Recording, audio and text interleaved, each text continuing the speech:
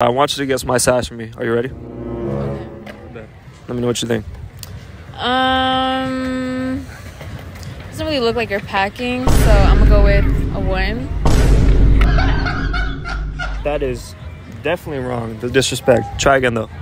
Let me see your hand. Okay. Mm, definitely like a 2.5. A two point A 2.5. Definitely not a two point five. Are you sure? Yes, positive. Well, okay, let's see then. Let's see what. Let's show us. You you want me to pull it out Yeah.